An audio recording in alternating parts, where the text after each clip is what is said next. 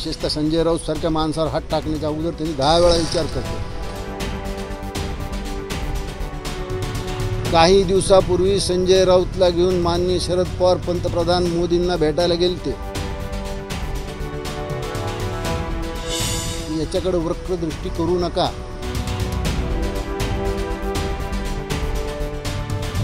जर संजय राऊतनी काही केलं नसेल यातून तलाकून सोलाकून बाहेर निघतील. जर केलं असेल मला असं वाटतं की ईडीच दहा वेळा विचार करेल. विशेषतः संजय राऊत सारख्या माणसावर हात टाकण्याच्या अगोदर त्यांनी दहा वेळा विचार करते तुम्ही पत्रकार आहात थोडा अभ्यास करा. काही दिवसापूर्वी संजय राऊतला घेऊन माननीय शरद पवार पंतप्रधान मोदींना भेटायला गेलते कशाला गेलते ती? भेट कशासाठी होती?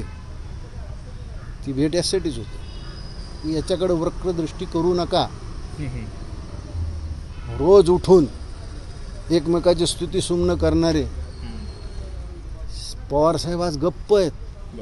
अजित पवारनं सुद्धा मोगम प्रतिक्रिया दिली. हो. भुजबळानं तर हेच सांगितलं की ईडीमध्ये जामीन होतच नाही. हो. स्वानुभव सांगितलं त्यांनी. हो. तुमची अचानक एवढी झालेली प्रगती जर ती भारताच्या कायद्यात असेल तर तुम्हाला काहीच होणार नाही.